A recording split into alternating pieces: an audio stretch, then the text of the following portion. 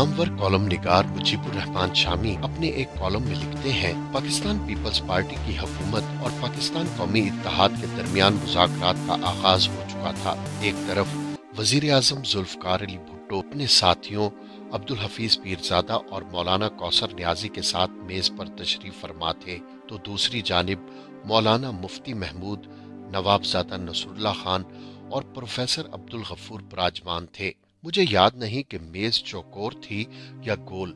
ख्याल यही है कि गोल होगी। जब हम पल्ला जमातों या ग्रुपों के दरमियान मुजाकरात होते हैं तो उसके लिए गोल मेज का इंतखाब किया जाता है। बड़े सगीर की सियासी रिवायत यही है। गोल मेज का कमाल ये है कि उसके ज़रिए बड़े, छोटे या ऊँचे नीचे की तमीज मिट जाती है। सब शुरुका का मरकजी नुक्ते से एक सा फासला होता है और सब में बराबरी का एहसास मौजूद रहता है। बात जरा दूर चली गई। अर्ज़ ये करना था कि वज़ीर आज़म भुट्टो और उनके हरीफ मुजाकरात की मेज बिछा चुके थे। वज़ीर आज़म की अपनी पार्टी पर गिरफ्त भरपूर थी। वो जब कोई बात करते तो पूरे एतमाद और यकीन के साथ करते। उन्हें कोई खदशा लाक नहीं होता था कि उनके रुफका उनसे इख्तलाफ करेंगे या उनकी बात रद्द कर देंगे, जबकि उनके हरीफों का मामला उलट था। तीनों शुरा अलल तरतीब अपने इत्तेहादी बंदोबस्त के सदर नायब सदर और सेक्रेटरी जनरल थे, लेकिन एक नौ रुकनी कौंसिल के सामने जवाब दे। मुजाकरात में जो भी पेशरफ होती या ना होती, वो जाकर अपने बाकी मानदा छह अरकान या सितारों को रिपोर्ट करते। उनमें एयर मार्शल असगर खान, शाह अहमद नौरानी और मीर बलख शेर मजारी जैसे देव शामिल थे। एक एक नुक्ते बल्कि शोशे पर उन्हें मुतमिन करना पड़ता। नतीजतन, ये हमारी सियासी तारीख के मुश्किल तरीन मुजाकर बन गए थे, जिनमें मुजाकराती नुमाइंदों के पास मुख्तार नामा आम नहीं था। मुजाकरात के बाद प्रोफेसर अब्दुल गफूर और मौलाना कौसर न्याजी मीडिया को ब्रीफ करते और सवालात का सामना भी करते। यूँ बाजोकात ऐसे गोशे सामने आ जाते जिनको छुपा कर रखना मकसूद होता था। मैंने अपने जवान साल भतीजे आमिर जिया शामी के साथ लाहौर से रावलपिंडी का रुख किया। चंद साल पहले जो अल्लाह को प्यारे हो चुके, हमारे पास सुर्ख रंग की एक लश्कीली मजदा कार थी, जिसे आमिर चलाते थे। ये कार अपने मरहूम दोस्त मेजर रिटायर्ड सईद रवाना से खरीदी गई थी, जो 1965 की लड़ाई का एक रोशन किरदार थे। सितारा जुरत उन्हें अता हुआ था। हमारे हफ्त रोजा में कॉलम भी लिखते थे। उनका जोशो जज्बा एक एक लफ्ज से टपका पड़ता था। वो अपोजिशन को आगे बढ़ाने के हरबों पर गौर करते रहते थे। इंतबात में धांधली के खिलाफ तहरीक चलाने का फैसला हुआ तो नीला गुंबद लाहौर से निकलने वाले पहले जुलूस की क्यादत एयर मार्शल असगर खान को करना थी कि उस वक्त वही मरजाए खलाइक थे। मेजर टवाना मेरे पास आए और इस बात पर ज़ोर दिया कि एयर मार्शल को गरे में कुरान मजीद डालकर मैदान में आना चाहिए कि ये तहरीक इस्लाम का कलमा बुलंद करने के लिए शुरू की जा रही है।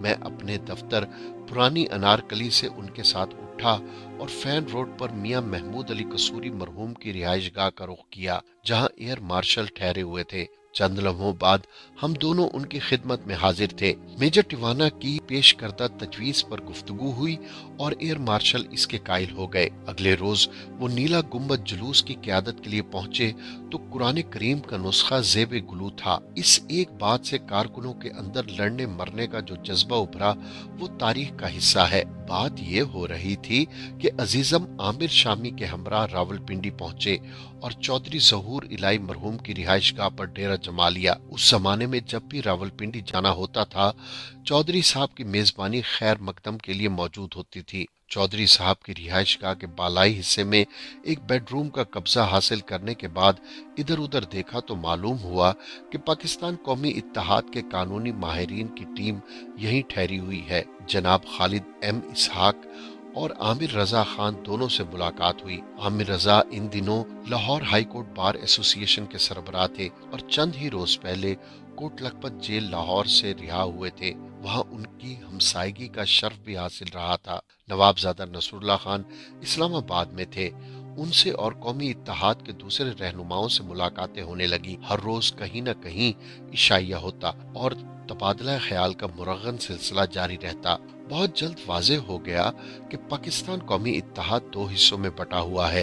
एक तरफ़ वो लोग थे जो मुजाकरात के ज़रिए नए इंतबात तक पहुँचना चाहते थे और दूसरी जानब भुट्टो साहब की बतौर वज़ीर अजम मौजूदगी में इंतबी मश को लाहासिल समझने वाले मोर्चा जन थे।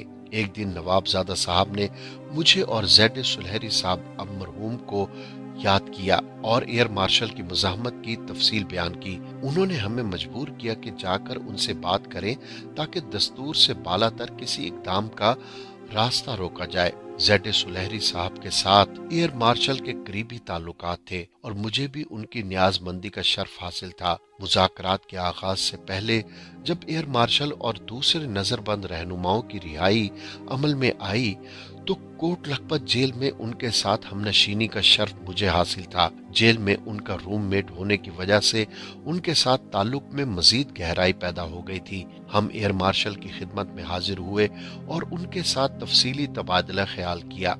एयर मार्शल भुट्टो साहब की मौजूदगी में मुनसिफाना इंतबात का कोई तस्वुर कबूल करने पर तैयार नहीं थे। बात किसी न किसी तौर संभाली गई। डेडलॉक खत्म हुआ। गाड़ी फिर रिंगने लगी। दो तीन रोज गुजरे होंगे कि मैंने लाहौर वापसी का इरादा कर लिया। नवाबजादा नसरुल्ला खान को भी इतला कर दी कि एक चक्कर लगा कर आता हूँ। उस दिन शायद जुलाई की चार तारीख थी।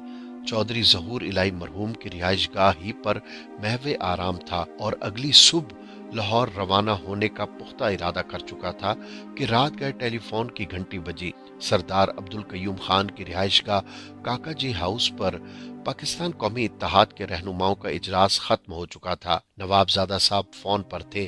उनके अल्फाज कुछ इस तरह के थे, आपके दोस्त फिर नाराज़ हो गए हैं। आप कल वापस ना जाएँ। हाँ में जवाब दिए बगैर चारा ना था। सुबह उठे तो मालूम हुआ कि फौज ने हुकूमत संभाल ली है। कुछ ही देर में बिरादरम सऊद साहिर भी तशरीफ़ ले आए। सब लोग तफसील मालूम करने के लिए बेचैन थे, लेकिन किसी को कुछ पता नहीं चल रहा था कि टेक ओवर को लीड कौन कर रहा है। खदशा ज़ाहिर किया जा रहा था कि जनरल जयाउल हक के अलावा किसी ग्रुप ने बगावत ना कर दी हो, या जनरल जयाउल हक को एक तरफ़ करके किसी और जनरल ने इकतदार न संभाल लिया कि जनरल मौसू वज़ीर आज़म भुट्टो के जानेसार और वफादार तस्वुर होते थे। इस गुमको के आलम में सऊद साहिब साहब ने नारा मारा के उठिए आईएसपीआर चलते हैं। फ़ौरन गाड़ी में बैठे और 15-20 मिनट बाद हम कर्नल सईद सालिक के सामने थे। इन दिनों आईएसपीआर के दफातर बैरको में थे और आज की शानो शको उनका थी। सदीक सालिक अपने दफ्तर में बैठे कुछ लिख रहे थे। पूछा, क्या लिख रहे हैं? जवाब मिला, तकरीर। किसकी? चीफ मार्शल एडमिनिस्ट्रेटर की। वो कौन है? मौलवी जियाउल हक।